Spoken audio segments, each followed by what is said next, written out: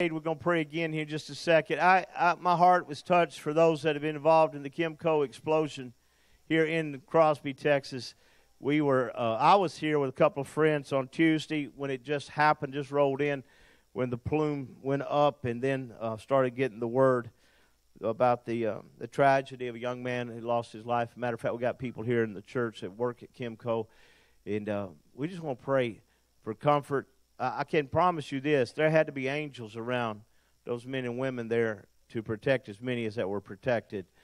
And it's very important. Father, I love you. I thank you first for the Word of God that changes our lives and transforms us and makes us into new creatures. It's amazing what your transforming power does.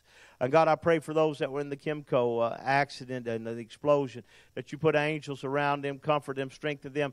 Lord, I know that there are repercussions mentally that take place in our mind the fear of going back, the fear of stepping back in, the fear of getting back on the horse, the bike, stepping back in the plants, and all these things, God, run through our minds. God, I pray for protection of the mind, that you would strengthen, that you would give us the ability to step back out and risk life again. We love you. We're not crazy, God. We just need your protection. In Jesus' name. And everyone said, Come on, give me a big amen. Amen. amen.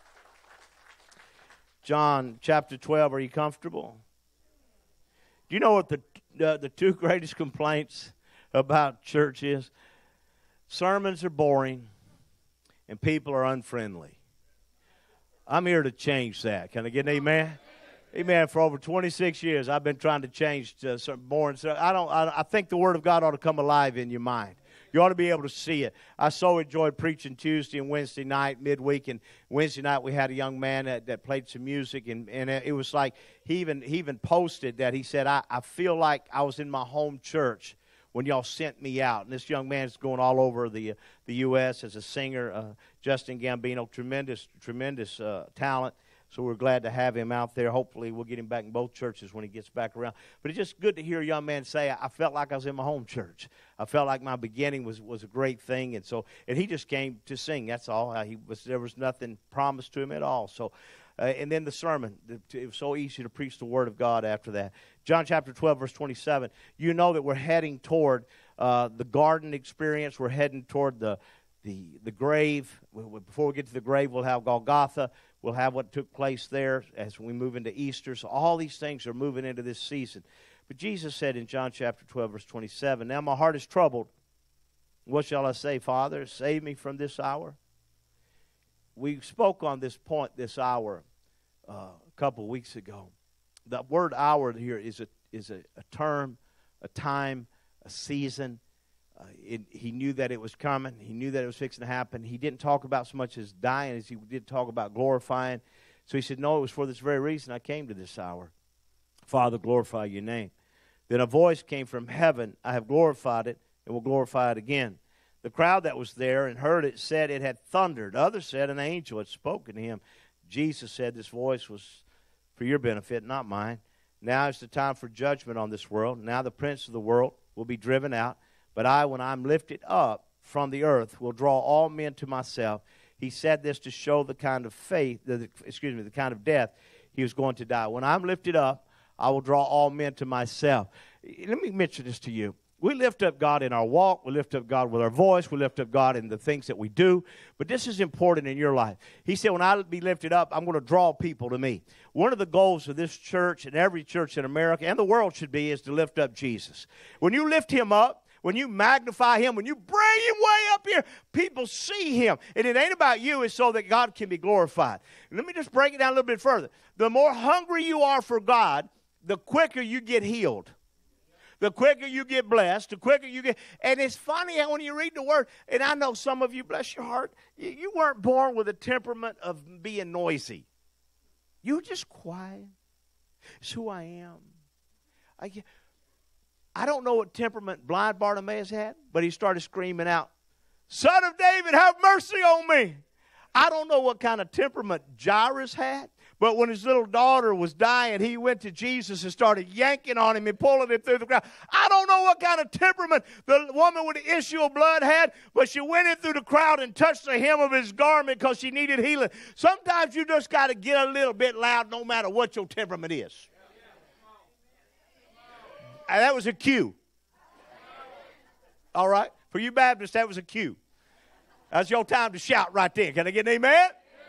Amen. So if I be lifted up, I'll draw all men unto me. We want to lift him up. We want to lift him up in all the things that we do. My pastor has been on a cane. Uh, Kenny, he's got he got a bad hip, you know, and he struggled with that hip, and he struggled. He's been on a cane. He told me, he said, I was laying on the floor working on a table this week, and he said, Oh, I've been praying for healing because I know I'm coming down. I gotta have a I gotta have a, a replacement. He said, as I got up, I felt no pain. And I love how he described it to me. He said, I walked, and he's telling me, like, like just, he said, I'm walking, and I don't feel no. And I said, Lord, are you doing this to me? Are you doing this? He said, I walked out to the shed and I got my tools and I came back in and I said, I, and it's like I'm reaching. I'm thinking, now I'm going to. Do I need? Do I need to reach for the? Can? He said, I'm still feeling good. And this morning I heard it in his voice. He said, Man, I feel so good. I called my team and said, Rejoice for me. I believe I'm under a healing right now. Amen. And I love that because it's not always the miraculous that takes place, but every now and then God just kind of creeps up on you and you come down with a healing. You got to rethink your thinking. All of you come down with a sickness. How about coming down with a healing? My kids will drink after me when they're sick because they'll get well if they drink after me. I said you got to rethink your thinking. Amen. Amen. If he's living in you, I promise you, you, you, eh, you get what you believe. If you don't want to believe it, that's up to you. But I, I'm just crazy enough to give it a shot. For 30 something years. Father, I thank you for your word. I thank you for your anointing. Rest on me today and speak through me as your oracle. Need your help. Thank you for touching my pastor. Thank you for giving him this relief that he needs right now. And I ask you to bless his house in Jesus' name. Everyone said, God bless you. you may be seated.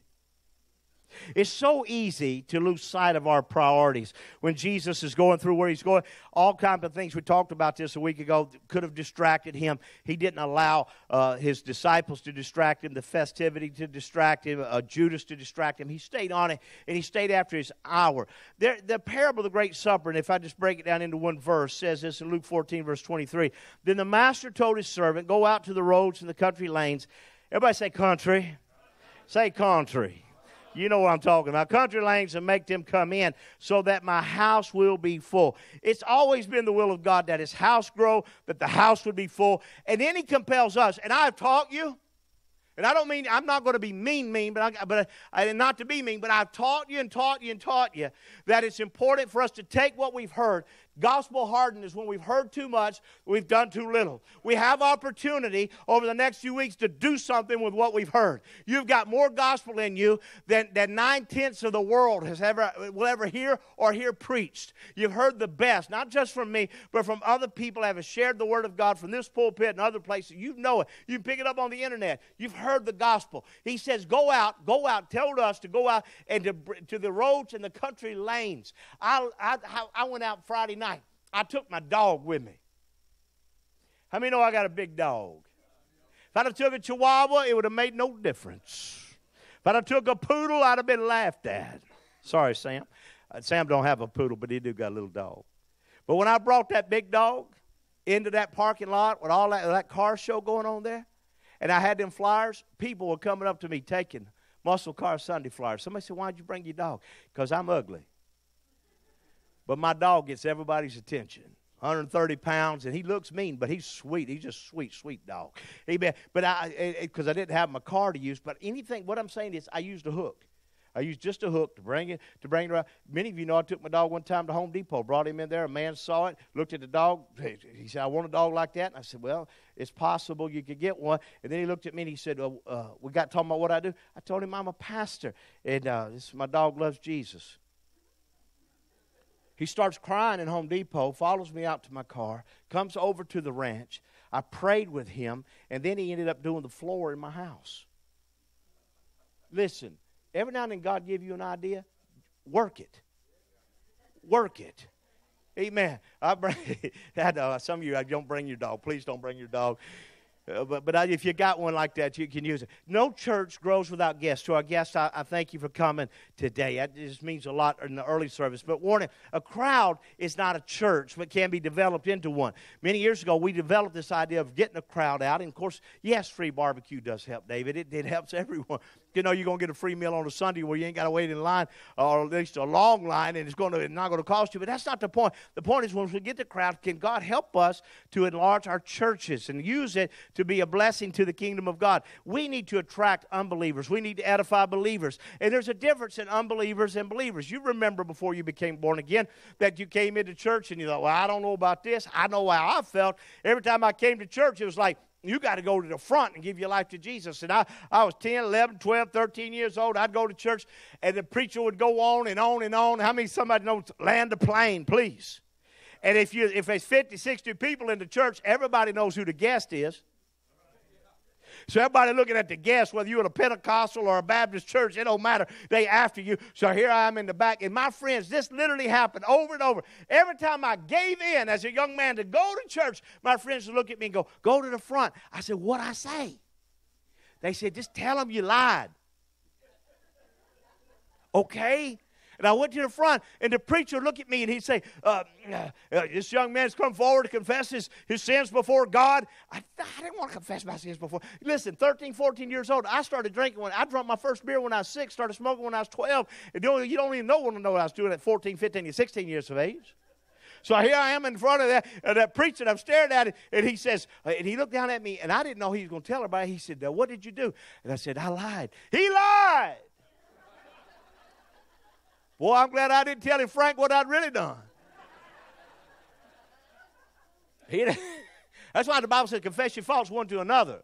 Amen. It don't say tell, tell the preacher, please don't tell me. I'm not your priest. Can I get an amen? Talk to him about your stuff. I don't really want to hear it because I gossip. Okay. So I would have this problem with, with, with, as a, as a, and then when I gave my life to Christ at 18, 19 years of age, things did change. And it wasn't about confessing. I, it was a peace that came over me. It was, and I, I, so have wanted that. And yes, I'm a pastor. I've been a youth pastor, but my greatest passions in my life has been in being an evangelist, reaching people for Jesus. I just want to reach them. And if I have to do this to do it, I'll do it. Uh, but I love reaching people. I love seeing the smile on their face. I love seeing the change in their lives. I love when people come in contact with the living God and realize that He's the same God that's in that Bible. Amen. Sent His Son to die for us. There's something absolutely amazing about being born again. First Corinthians tells us that there is a difference in believers and unbelievers. Paul had to deal with it in the church. Sometimes church world gets hit real hard, and spirituality takes a fight, and it gets on fire, and everybody gets excited, and, and then uh, maybe the Holy Ghost hits, and people get tongue talking and things. But Paul said, "Whoa, whoa, whoa, whoa! Listen." If you're praising God with your spirit, how can one who finds himself among those who do not understand say amen to your thanksgiving? What he means by that, if you're praising God, speaking in other tongues out loud, and you're going on and on, and somebody comes in who's an unbeliever, say to your thanksgiving, since he does not know what you're saying. Now, I'm not going to apologize. I've been a tongue talker for over 30 something years. And just because you haven't heard me doesn't mean that I don't do it in my private time of praying. Amen. I'm okay with that. I'm okay with you doing that. But I can tell you this you come to church and it sounds like a turkey farm going in there and you don't know Jesus, it will drive you out of the building. You will run scared, man. You'll get back to your bar as quick as you can. Okay. You may be giving thanks well enough, but the other man is not edified. I thank God that I speak in tongues more than all of you, but in the church, I would rather speak five intel- in- intelligible words to instruct others than 10,000 words in a tongue. So there's a difference in believers and unbelievers, and learning how to bring that balance in is so, so important. So, you know, some have thought, well, Pastor, what we need is two different services. I think we can have a balance. I don't think we have to have an early morning service for the charismatics and a second service for the for the not so charismatics. Amen. We could do it all together. Can I get an amen? In order to do this, though, we must be driven by purpose. Purpose has to be in our life, and that is to know Christ and to make Him known. Now, I'm going to take you to a very familiar passage here in Luke chapter 5. And, and, and it stands out to me so much at a time like this. One day, as Jesus was standing by the lake of Gennesaret, with the people crowding around him and listening to the Word of God, he saw the water. When it says listening to the Word of God, it didn't mean that Jesus opened the Bible. He was the Word. So when he spoke, Luke said, You know what? I heard the Word of God today. Every time Jesus opened his mouth, it was the words of God. He was talking. He saw at the water's edge two boats left there by the fishermen who were washing their nets. He got into one of the boats and one belonging to Simon, you know that's Pete, and asked him to put out a little from the shore. When he sat down and talked to people from the boat, when he had finished speaking, he said to Simon, Put out into the water and let down the nets for a catch. Peter answered, Master, we worked hard all night. We haven't caught anything. But because you say so, I'll let down the nets. The church has worked hard. This church has, other churches I know have, but the church of God around the world is working hard. We've been, we've been fishing, we've been trying to do what Jesus says do, and there comes a time when you say, I just, I'm tired. I, there's, I've been working all night. I've been working all year. I've been doing this, this, this. But here's in my heart. The scripture says, if I faint not, I will reap. If I keep on doing, if I keep on sowing, if I keep on casting, you know, David and Richard, a couple of them went fishing the other night. It, it, and I'm going to tell you, Richard told me he got in at 4 in the morning. I don't know what you do to him, David, but evidently y'all are addicted. But you don't, ca- you don't catch unless you're casting. You got to keep casting. You got to keep throwing out. And many times the church gets tired, but wouldn't you want to see your children saved? Wouldn't you want to see your family saved? Why don't you want to see your friends get, get, get know Christ? So you can't give up on this moment. Amen. Like David said, if it takes 20 bucks, it, will take 20, whatever it takes for me to connect with them. So he says that Simon said, We worked hard. If they done so, they caught such a large number of fish that their nets began to break. So they signaled their partners in the other boat to come and help them. They came and filled both boats so full they began to sink. When Simon, now Peter, saw this, he fell at Jesus' knees and said, Go away from me, Lord. I am a sinful man. We have all felt this inadequacy for the task. We've always felt, if I tell them about Christ, they know my life. They know, they're, they're my neighbors. They know me. What will they think? I don't care what they think. Amen. Let them know that the grace of God is on you. The mercy of God has saved you. Reach out to them. Connect with them. You ain't got to wait to get perfect to get to church. You ain't got to wait to get dressed up to get to the house. Just get to the house. Amen. And watch and see what God's done. Well, when I get well, I'm going to the hospital. You crazy? This is the hospital for people that are spiritually in need. Amen. And sometimes physically and mentally in need. It, it shifts everything. It changes. Uh, so Peter said, Depart from me, I'm a wicked man. And I've always felt that if Jesus could see those fish, he could look inside Peter's heart. He knows our heart. I, I sat in the back a while ago and I prayed just a little bit more before I came out. And I said, God, you know my inadequacies. You know my sin. You know my heart. You know my life. And, and yet here I am. I'm your oracle. Speak through me. Work through me. I so want to reach people for you. I want not just, and again, guys, I, I'm, I'm not, I'm, I'm getting to be more and more global than just local because of the internet and the way we're able to reach people, we got to start thinking outside the box. Amen. It's got to grow just a little bit more. For he and all his companions were astonished at the catch of fish they had taken. And so were James and John, the sons of Zebedee, Simon's partners. Then Jesus said to Simon, Don't be afraid. From now on, you will catch men. So they pulled their boats up on shore, left everything, and followed him. Sometimes you just got to keep reading the, the red. You got to keep reading what he said. I'm, I'm going to catch men. He said, I'm going to catch men. I can do this. Everybody say, I can do this. Say it again. You can win somebody. You can do this eh, by your actions, by your words, sometimes by simple invitation, but there's always opportunity. Pastor Mike, again, I talked to him this morning, and he told me about a lady. This, this is how me and him talk and converse. He lives up in the St. Louis area, and he said to me, he said, I got a lady coming to church today. I want you to pray that she comes. She ain't been to church in 10 years. I said, okay.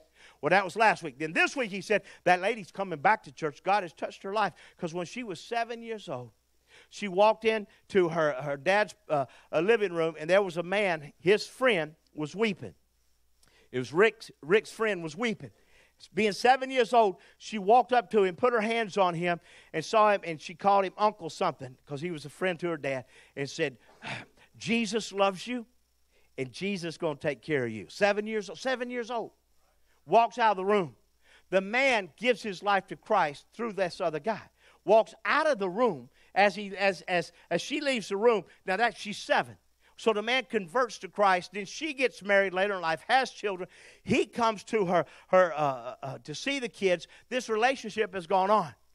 After her second child was born, he was killed in a motorcycle wreck. And the only thing that happened at that funeral was this little girl was seven years old. Your children can lead them to Jesus. Amen. Pray for them touch them. You, you don't know how all this stuff converses in life. Every church is driven by something. You know, to drive means to guide, to control, to direct. My message thought is his hour, this hour, our hour. We got an hour. We got a season. We got an opportunity as a church to reach people. And by the way, don't you, uh, uh, don't you love a catch? I mean, literally, David, I know you sent me pictures immediately. As soon as you catch fish, he's sending me pictures. The biggest ugly black drums you ever seen. Just big ugly fish. I said, that one's ugly. Richard asked, you David or the fish? Amen. But but both the ugly. It's ugly. But but there's something about the catch. There's something about seeing what's going to come in. And I get excited about seeing what's going to come in. Who's coming in next? Who's giving their life to Christ? I'll do a funeral tomorrow. And while I'm doing that funeral, I'm thinking to myself, who's going to come in? Who am I going to catch? Even through this funeral, that, that I'll be able to reach people. There's something about connecting. And to see that, I still watch the deadliest catch, and I know it's only going to be crabs. I know what's coming up on the deck, but I got to see it. I just got to see it. And it's the same way I go to church because I just got to see it. Some churches are driven, they're driven by tradition. Mom and dad went here. I, you know, my mom and dad were Lutherans. I'm a Lutheran. My kids are going to be Lutheran. Some churches are driven by personalities. Let me tell you, that's not wrong. God gives personalities to churches. Person without a personality, you would sure be boring. Amen. So thank God for that. Uh, finances. Some churches are driven by, in, you know, in a big church, they have money. They don't need to be res- as responsible. I believe in equal sacrifice. But big churches, I, have seen big churches little congregations. How that happen? Because so and so loved that church so much, they left their money and this money, that money, these Presbyterian, Presbyterian whatever. Amen. Uh, churches like that, uh, big, big Catholic churches, uh, whatever. It doesn't matter what kind they are, but you'll see them grow through that. Some churches are driven by programs. They got youth, they got Sunday school, they got age classes. I like people interest. I like things that you're interested in. Amen. To connect. It's hard for me to stick uh, 30 and 35 year olds in a class when, when, when, when 30, 35 year olds get along better with the 50, 55 year olds. You know, so, so it's easier to do it with interest. That's why we talk about the Harleys, hot rods, horses, empty and hell, the things we like to do. Building. Some people, some churches are driven just because they got a good looking building. That's a, I, this, this is a cute church. I'm not to lie to you. This is a church. Looks like a church. I get out to New Caney. I look at our church. I drive by and I open my eyes like a guest. And I go, this, the property's pretty, but this is one ugly church. I'm like the parent with the ugly kid that thinks he's, he's handsome all the time. He's a good looking boy, and everybody lies to me to make me feel good. Don't look around. You got those kids too. Some are driven by events. We use, I, I love events. Uh, some are guests, you know, they're people sensitive, friendly. But whatever drives a church, it should be pulled by purpose. It's got to be fueled by purpose. Church should build with purpose. Proverbs 19 21. Many are the plans of a man's heart, but it is the Lord's purpose that prevails. Purpose, exalting Christ, reaching people, knowing Him, making Him known. I've used this phrase forever W I N, to win, to win the lost, to integrate the body, to nurture people. If we can just win people, if we can integrate those people, if we can nurture those people, then we've won. When you know your purpose, when you know your DNA, and that's the other thing. Uh, I talked with Pastor Rick uh, Hawkins. Many of you know Rick, pastor now in Oklahoma City or in Norman, Oklahoma, and and he was telling his staff, and I was there when, after he had done it. Every church needs a DNA. You got to find out what it is that drives you. Uh, I see, as a matter of fact, can I just say, I saw Rick taking some of my stuff and using it in his church. Made me feel good. It just makes you feel good. Because, you know, I saw they got a hugs ministry. I started hugs a long time ago, helping uplift God's saints. I remember doing that. I remember working through trying to uplift it and be a blessing. When, when you know your purpose, you have your DNA. I, one day you're going to have a different pastor. Because I'm, I ain't to be here forever. I ain't saying I'm leaving anytime soon. It might, I might get 5, 10, 20 years. But one day I'm going to be gone. And some of you younger people come up, you're going to get a, you're going to get a different guy. When it happens, the DNA may change. But all churches have a DNA. Our DNA is to reach people. It's always been to reach people. If we rode a horse, it was to reach people. If we were burning rubber, it was reaching people. If we went on a bike ride, it was reaching people. That tower out there on that tower, when, when I'm on that zip line, I'm about reaching people. Sally, it was so much fun throwing you off the tower this week. Amen. She said, please pray for me and tell Frank I love him. And look at you. You made it. You made it. You made it off the tower. We got 30 ladies out there that we, we, we were blessed with. Uh, but, but they come up, they want to pray up there. And we pray with them and love on them. Uh, it's, uh, the camp is about reaching people. If we're not reaching, then we're going to stagnate and die. We'll just die. We'll be like the Dead Sea. We've got to keep reaching. We got when Easter hits, I'm praying this place is so packed. I got to stand on top of that. I got to throw a plank on that baptistry, and I got to get up there. By the way, if you want to get baptized, I'll baptize you on Easter. How about that? If you want to get dunked, I'll dunk you up here. But I, I hope I got to stand up there and y'all pack me, push me all the way back. Amen. Oh, y'all, I got one amen right here on the front row. How many like to see a full house on Easter? Amen. I would love to see that. So, so we want to win. It builds morale. When you know your purpose, it does build morale. It reduces frustration. Everybody knows what we're here to do. It allows concentration. You become focused. You have more efficiency. You're doing the right things. You're effective. You're doing the right things, not more things. I don't want to do more things. I just want to do the right thing. If I do the right thing, I do more things. So I, I remember in my life, I got so busy, busy. I remember one time I had I was over 22 different ministries.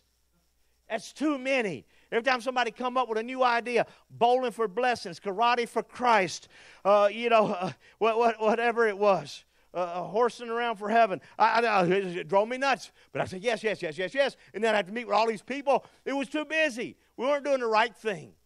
We were doing too many things. What is busy? Being under Satan's yoke. I don't want to be busy. I want to be effective. I just want to get done what God called us to do. Some of you, bless your heart, I just set you free right then. You realize you have been too busy. Quit using the word. Make yourself bite your tongue. Quit saying it. Quit saying it. A lot of times when I call people say, well, I'm busy. They're not busy. They only say that to make themselves feel more important. Oh, I'm sorry. Be effective. Be effective. Uh, Jesus did. J- Jesus was so simple. He came to win the lost, amen, and destroy the devil. It was that simple. He was just doing that. That's what he did. He kept it simple. Keep it that way. First Peter 4, verse 10 says, Each one should use whatever gift he has received to serve others faithfully administering God's grace in its various forms. If anyone speaks, he should do it as one speaking the very words of God. If anyone serves, he should do it with the strength that God provides, so that all things God may be praised through Jesus Christ. To him be the glory and the power forever and ever. Amen. This hour is our hour. To use the gift that God gave you. What gift did he give you? Oh, you've been sitting on it. I mean, you, you know what you've been doing with your gift. God gave you a gift. He gave you a gift to serve. He gave you a gift to be a blessing. He gave you a gift to organize. He gave you a gift. And many times our gifts could turn into our occupation. It started out as a job, and then it becomes an occupation, becomes a career. Next thing you know, we're making money with the gift that God gave us. My, my, my. Isn't God good?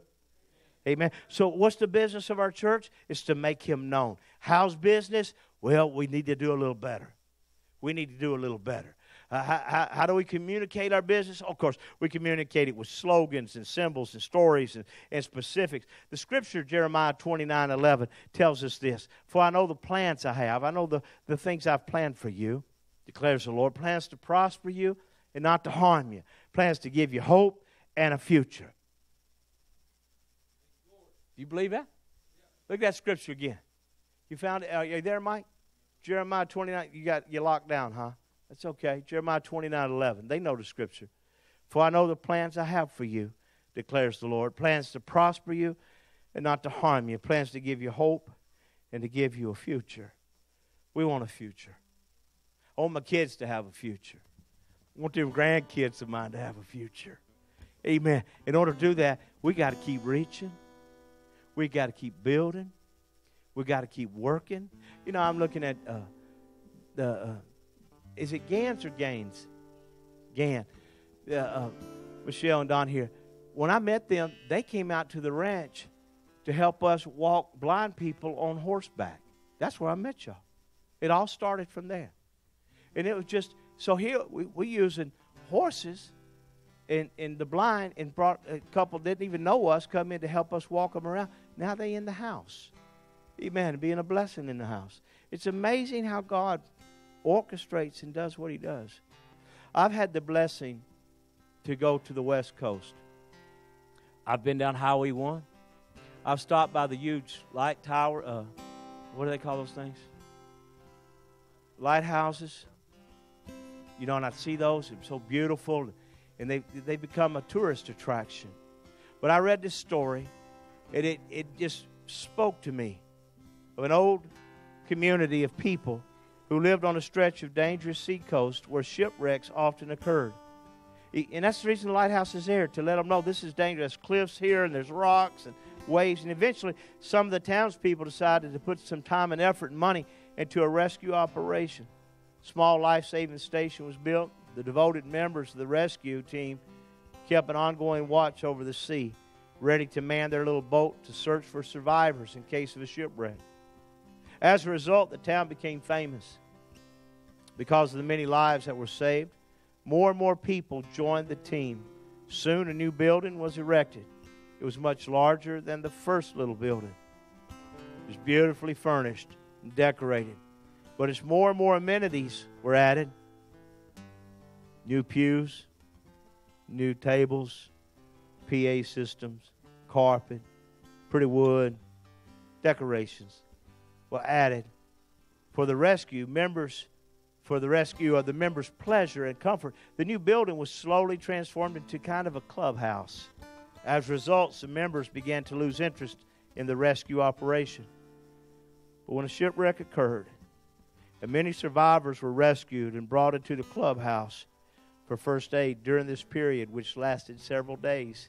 The frenzied activity caused the attractive clubhouse to be considerably marred by such things as bloodstains on the carpet. At the next meeting, there was a split in the membership. Most members felt that the life saving operation was a hindrance to the social life of the operation, and those who disagreed were told they could build another little station further down the coast. As the years went by, history continued to repeat itself. Today, so the story goes, the seacoast has a number of exclusive clubhouses dotting the shoreline, but no one in the area seems to be concerned about the rescue operation. I've watched church after church after church in my lifetime be built. And they build with a rescue attitude. We're going to win people, we're going to do this. Let it always be my heart cry, no matter how big our churches get, no matter how much God does for us, that we are about winning souls, that we're about rescuing people. I'm still reminded when Hurricane Katrina hit we were one church then, if you remember, and we took people off the freeway and they brought them off I 10 who, were, who had lost their homes. They came with their dogs, they came with their addictions, they came living together. 16 families moved onto our property, and we took care of them. We fed them. It was the beginning of what is known as the clothing ministry out there in Tatum's pantry and feeding them and looking after them. We didn't talk to them. We didn't. I didn't interview them. Do you have an addiction? Do you have? One couple came. I will never forget them. Guy and Rose came they were living together. We didn't say, You can't come into this church living together. I can't move you on the property living together. We just brought them in, rescued them. Two weeks later, they were walking down the aisle, and I married them right there in the church. Don't, don't, don't tell me what God can and can't do. We saw a miracle after miracle, but don't let us ever get to the place where we say, oh, this is so nice. This is so lovely. You know, uh, it's, it's so pretty. We, we can't damage this place. God forbid that we ever get to the place. And I'm not trying to say to tear up the church. I'm not, I'm, I'm not saying disrespect the house. I'm saying let us keep using what we got to win people to Jesus. Amen. Lord, I sit here humbly. My heart is so, it ain't just about the, what's going to happen next week, but it's about Easter and it's the week after and the week after. God, if we ever get to the place where we get comfortable and say, well, this is all we need, rebuke us, chastise us, shake us, remind us. God, there's more in this life than just us. Lord, when I preached my sister's funeral, I knew that you had covered her and touched. When I preached my daddy's funeral, I know you saved my dad and you rescued him from, from, from what he had been. God, I know you're such a, you changed my mom, you touched my brother. God, all through my life, I have seen the gospel work in the hearts of the people that are before me. I've seen it. To those that have gone on to be with you when I've preached their funerals, I know, God, your grace touched them. Now, God, don't let us get to a place of apathy, of not caring anymore about the rest of the world. Help us to reach them for your glory. This is our hour. Help us step into it. In Jesus' name. Everybody give God praise in this house. Would you do that?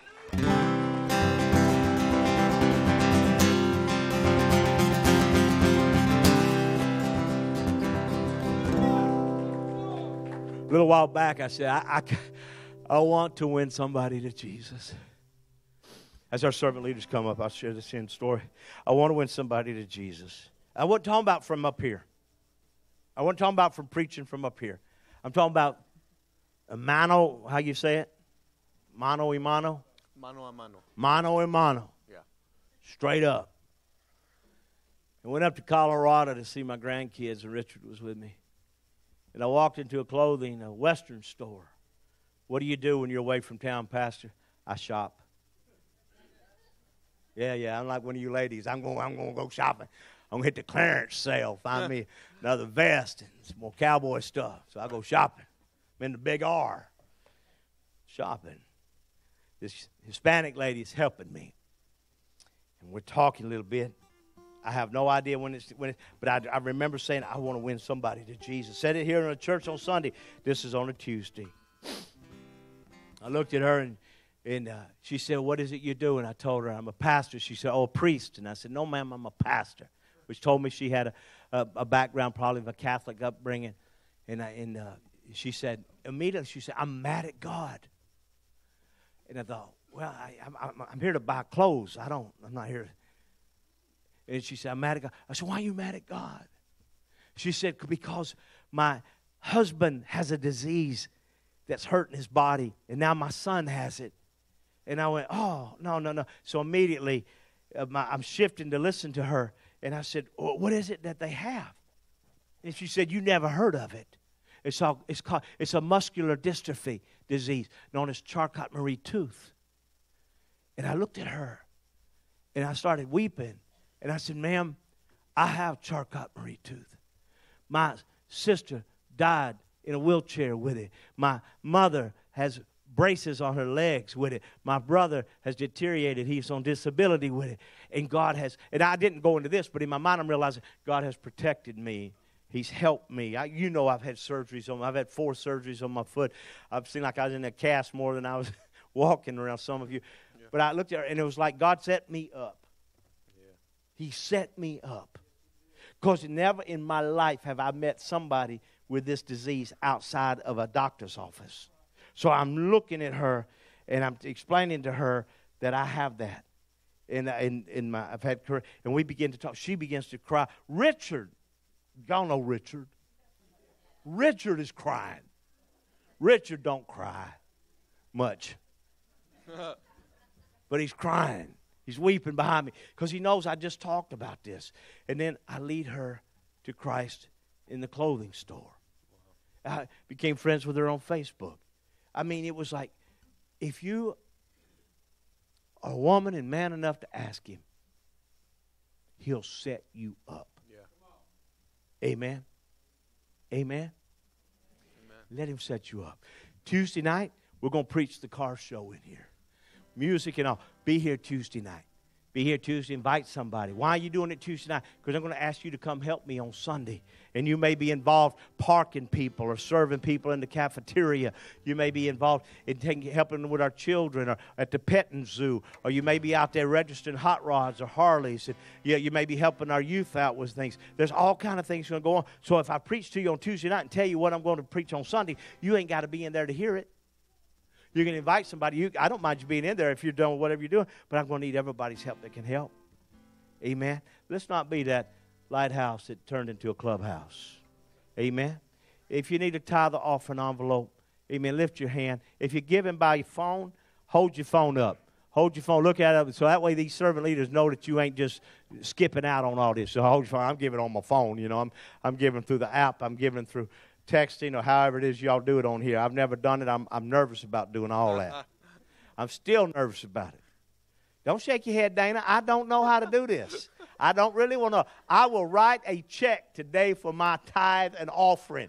A check. I went into AT&T and chewed them out and told them, I said, I'm tired of paying direct, uh, uh, my direct. Uh, Auto pay? No, no, that other thing. TV. Oh. By doing this with y'all. I don't like. Send me paper.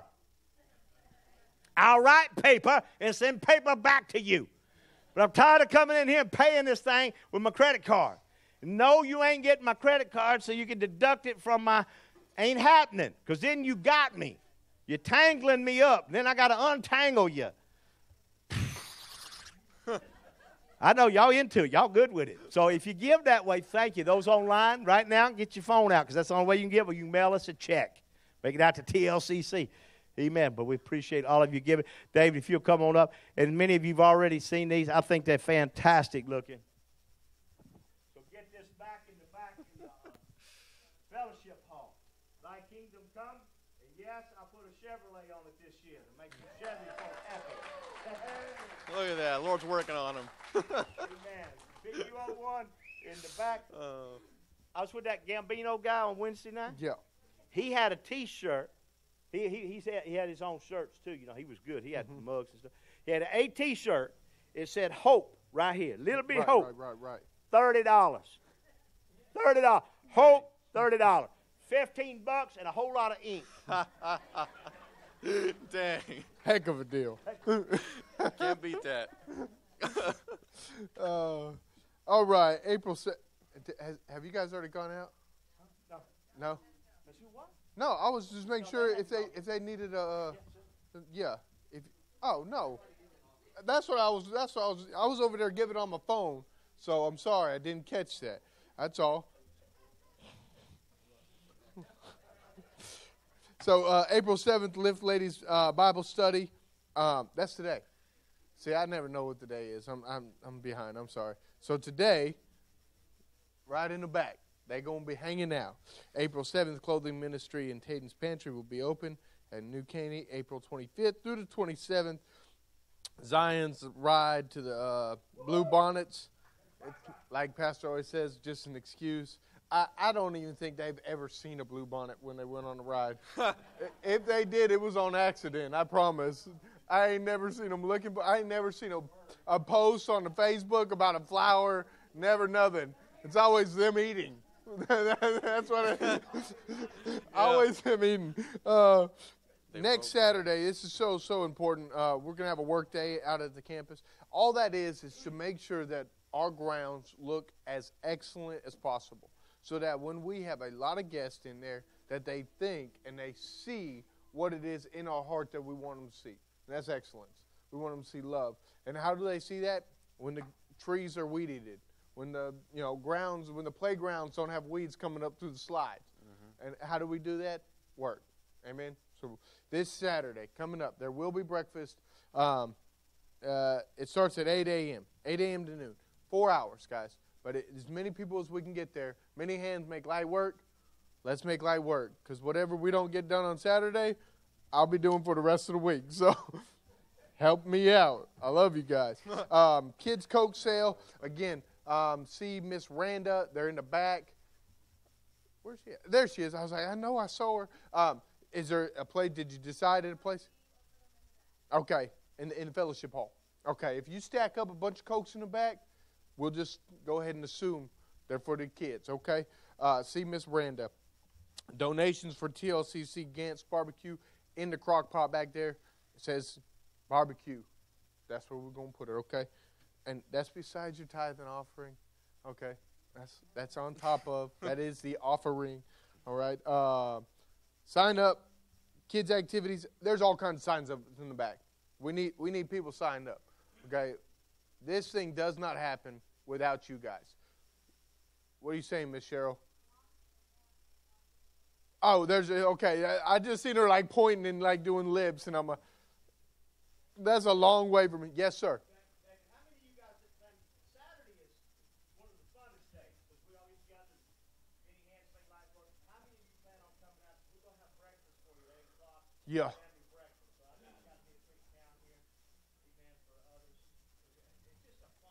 It is fun.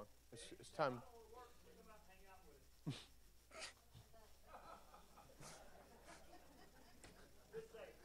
All right. Today we're believing God for jobs and better jobs. More money, less hours, benefits, sales and commission, checks in the mail, gifts and surprises, finding money, bills paid off, settlements, inheritance, rebates and returns, debts demolished, royalties received, favor, success to the kingdom.